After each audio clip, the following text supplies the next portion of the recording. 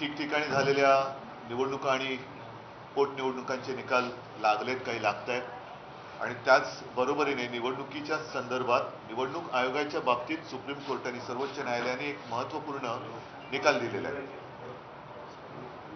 सर्वोच्च न्यायालयाने जो आज निकाल दिलेला आहे हा आपल्या देशातील लोकशाही जिवंत ठेवण्याच्या दृष्टीने एक दिलासादायक निकाल आहे.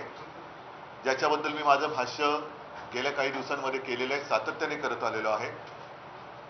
आपल्या देशात लोकशाही जिवंत ठेवायची असेल तर पक्षांतर्गत लोकशाही सुद्धा जिवंत राहिली पाहिजे हे बघणारा निवडणूक आयोग.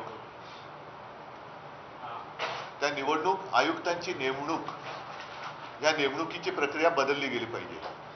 तो नेमला जाता कामा नये. आणि त्या दृष्टीने जर का आज सर्वोच्च न्यायालयाच्या निकालाकडे पाहिलं तर एक महत्त्वपूर्ण निकाल हा मानायला पाहिजे.